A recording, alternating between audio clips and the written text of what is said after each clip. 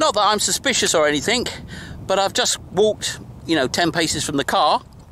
It's the same car in the same place many, many times, and I've got a little coin, which normally means I won't find anything for hours now, but straight away, bang, a tiny little coin.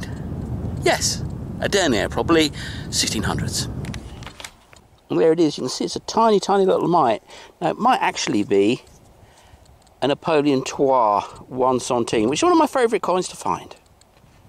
Very little signal, as you can imagine. Big coil, small signal.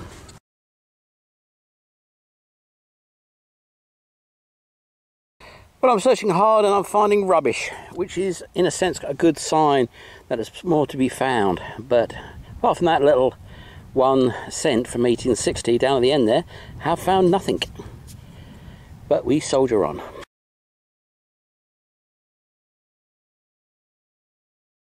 Thought I might have had something then. It's one of them there tops. Oh yes. Oh, it's dry and dusty and I'm not getting much depth. I'm getting like six inches on a reasonably decent coin.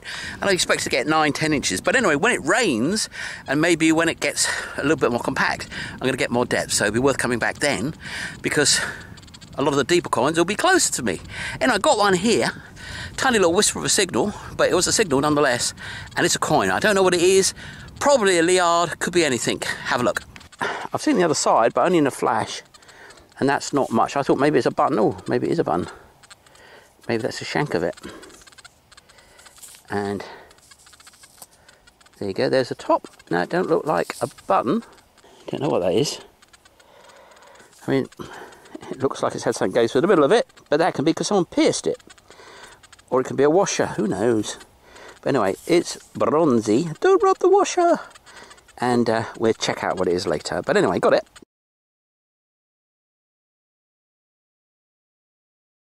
Well, second coin of the day. it's been a couple of hours. But anyway, a 20 centimes from 1945. I can't see it. You can probably see it, but I can. And I don't think I've ever found one of these before, so it's the first. And it's kind in half by the plough.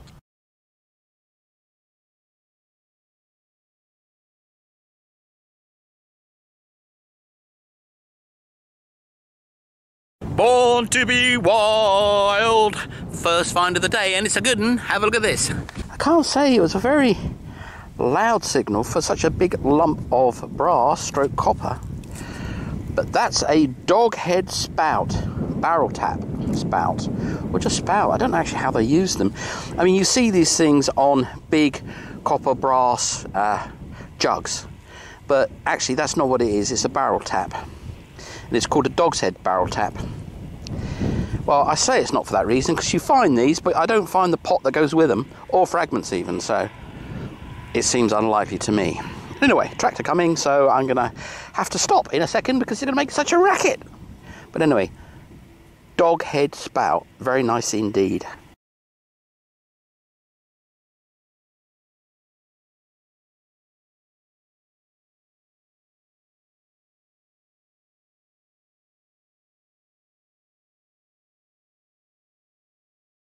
First coin of the day on the Road of Treasure. First motorbike of the day near the Road of Treasure. Anyway, the only interesting thing is that it was quite a low number, and I would expect it to be in the 80s and it's in the 70s. But the soil is so dry. I mean, really, drought conditions here, even though it's kind of been raining. I mean, it's very strange. But anyway, here it is in this hand. And it's a Napoleon III, five centimes of the Emperor with the goatee. In the pocket it goes.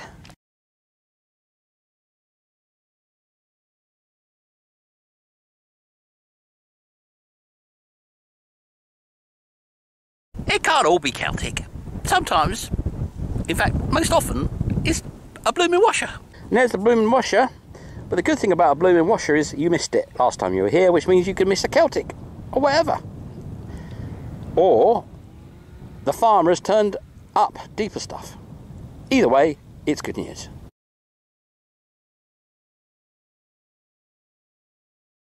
Obviously, I've picked over this place uh, quite a few times, so pickings are thin. However, got a nice find down here on the ground. And there it is. I guess. well, it is what it is, isn't it? If you know what I mean. What exactly that is, I don't know, but it's some kind of decoration.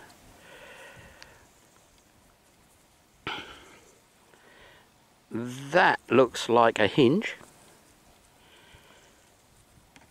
So it's over something. Maybe that's just the top of a pipe. Maybe it's part of a brooch. Don't know.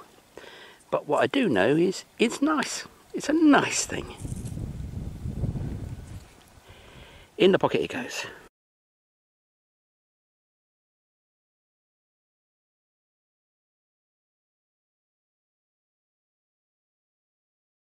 The fines are coming in thick and slow. I should say the fines are coming in thin and slow, or maybe thin and fast, but they're coming in thin.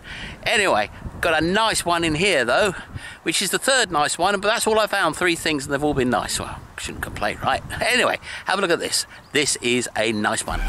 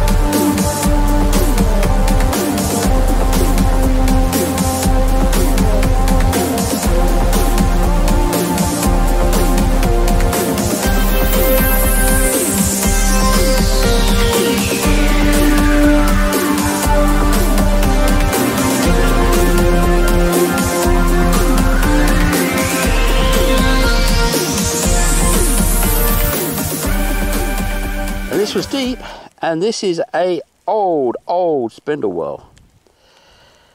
See that marks it out as being a medieval one in my book anyway. And it's very very good indeed. Because I've got a bucket of spindle whorls but not many old ones. And this is an old one. So I'm very happy with that. Don't rub the spindle whorl! Anyway there it is. 15th century, probably 1400s. That's my wild spindle whorl guess. Very happy indeed with that one.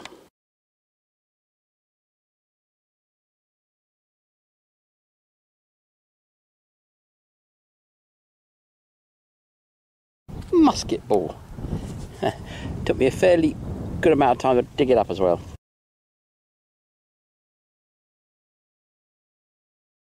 Now I like the hot program, but I don't like the hot program because it gives you so many little tiny hopeful signals that never turn into anything that you don't dig because they just go giggle beep beep beep.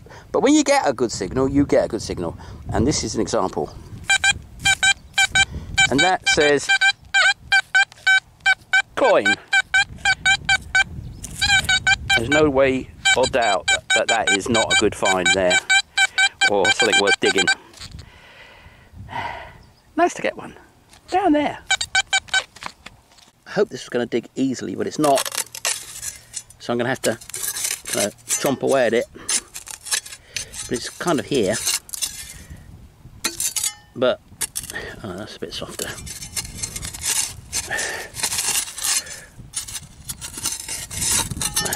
Well, I'm going to have to use two hands for this. I'll get back to you when I found it. Well, it wasn't far. It didn't sound like it was. And that, ooh, and this is it. And that's a pre-revolutionary coin. Probably a so-called six. But we don't know yet. Let's go and have a closer look. Now it's a silly enough shape to be a Roman. And it's also almost thick enough.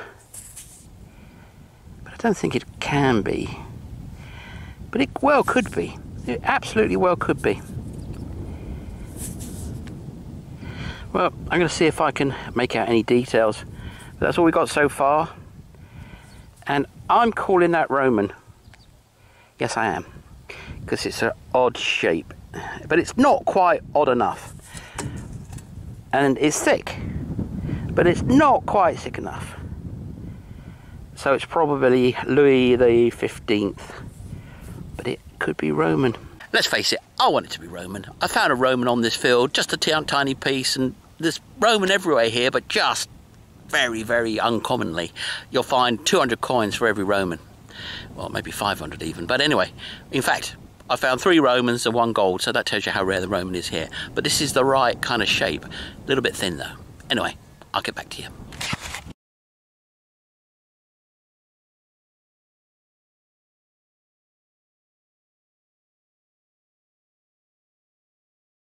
Now this looks very interesting. That's probably a ring. But the really, really old copper stuff gets encrusted like this. So this could be a little Roman. I'm hoping, obviously. Ooh, can't seem to break the surface. Nope, it's not going to come. So maybe it's a button. Maybe that's actually a top of something. I don't know, I don't know. I don't know. But that edge says Roman coin to me. But anyway, it's an old thing. It's a copper stroke bronze thing. So I think this is going to be a lovely, but I think it's going to be very battered.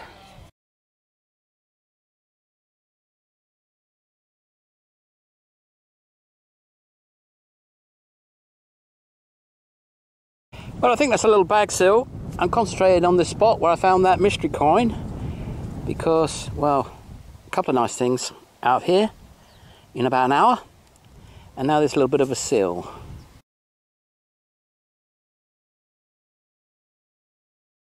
Suspicion that's a bit of a thing, so it's going to go in the pocket. It might not be, but it might be. You never know.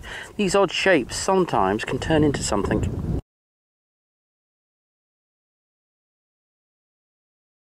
It's one of them. Uh, it's an interesting patch. It's nothing major. I say that, but actually, some nice finds so far. But nothing dense, just all spread out as if it's been travelled across rather than anything else.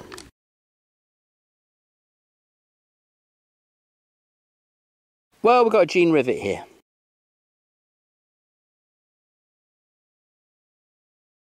Well, there's your standard denier for you middle of the 1600s. Probably says Liard de France somewhere on there, but it's in with iron. I'm lucky I actually dug it out because it was very mixed signal. But anyway, I got it.